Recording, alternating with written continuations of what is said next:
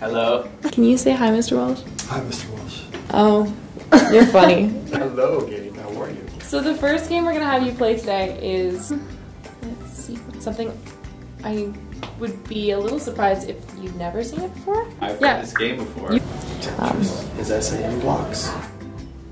I guess I, no, I've never played it, but When I was really young, and uh, I would play this game on some of the computers at his work.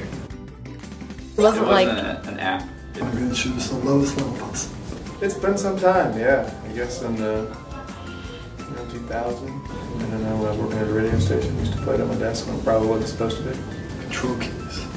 Uh, like a lot of games, I think when you start off with a simple set of rules, but then there's so many ways that they can interact, then uh, that makes for a good game. And also, there's probably some deeper, like cognitive, uh, you know, thing about how it's like a spatial orientation, and you have to react. Uh, and so that probably like really stimulates your brain Mhm. from kind of a scientific perspective. Well, this is going to be really confusing for me. My son is a whiz at all this stuff, but I'm going to stink. Um, I'm not sure it's opening. turn them, you can rotate them. Yeah, I see that now. A little late to tell me that.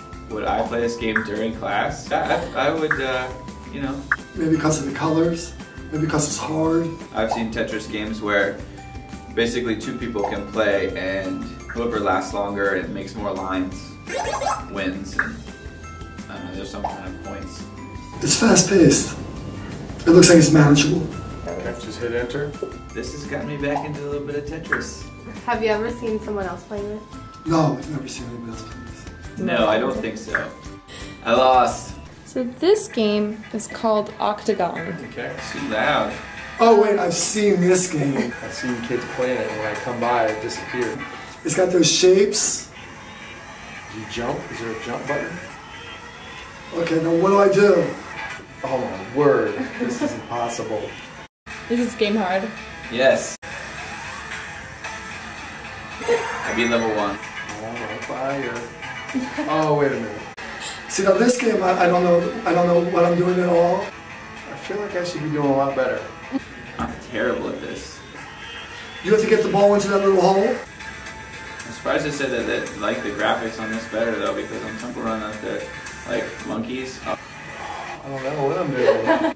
Do you think that this game will um, continue to be really popular? There's kind of like a burst of it, like everyone finding out about it and everyone trying it out and playing it.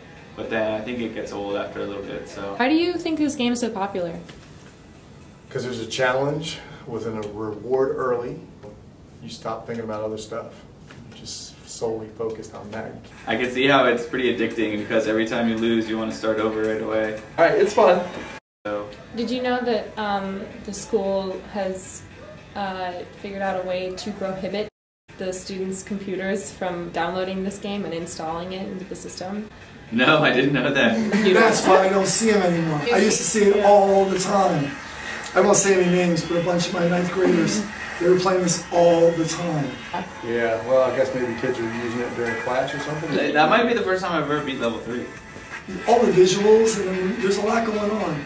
There's um, the, the visuals, the color, the music. I'm falling right off of a cliff. So Yeah, this would be a Friday night, Saturday night game. I don't like it because I'm not very good at it. Oh, oh there's a quit. Press the power. So close. The next game is called 2048, Okay. and the goal is to reach the number 2048. See, now, no, this is I'm kind of stuck here. 'cause They've made like Doctor Who and like The Simpsons. Oh, they've done one with The Simpsons? Yeah, like a bunch of Tons of different kinds. Oh, really? Now that one I could do. You want to play that one instead? Sure. Yeah. Sam, It's more cerebral. Frodo, Merry. Just moving side to side and numbers just keep showing up. Like here, I even there two would lead to four, four would lead to eight, eight goes to 16. Now I'm up to Bart. It's hard to remember which players merge into who. Then I guess it's going to be Marge. I'll find out. And then Homer. Well, where does it go after there? What's the next, who are the next people? That could be something that'll keep that elastic in your brain, you know, malleable. So Do you think games like this will last? Yeah, I would play this. Oh yeah. There'll always be. There's so many people, creative people out there who are gonna come up with new ones. Mhm. So they're not necessarily going to be the same exact thing, but I think when you hit on something like this, where again, this is like Tetris, it's something that has simple rules, but those rules evolve and emerge into um, many different possibilities. So Numbers you know, but this one will be like, okay, what do you think is next? And be like, really? Like, I thought for sure it was gonna be March. Oh yeah, what's next? Gimli. Drives crazy. Even when you lose the game, um, you get to you get to restart, and that actually your that actually stimulates your brain. Amazing. Hope we're getting you kids ready to compete in that environment. I don't think any of them are necessarily like educational or. I think I think they're mainly just for fun. So like in class, I don't I don't want any of my students to play these games while we're doing something else during class. But I don't see any of these games being corrupting. I can see my daughter doing it. She likes that. She likes like piano tiles. What is your message to students who play games during your classes? In class, I'd ask them to put them. Turn it off. Listen to me.